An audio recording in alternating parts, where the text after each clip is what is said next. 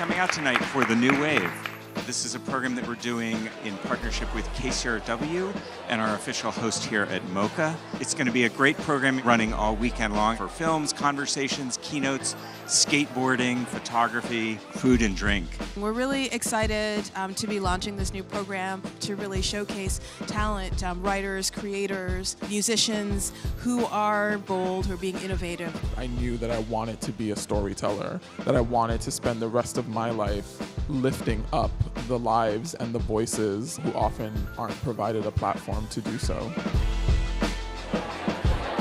We're trying something new. It's a way for Film Independent to really showcase its mission in an inspiring way.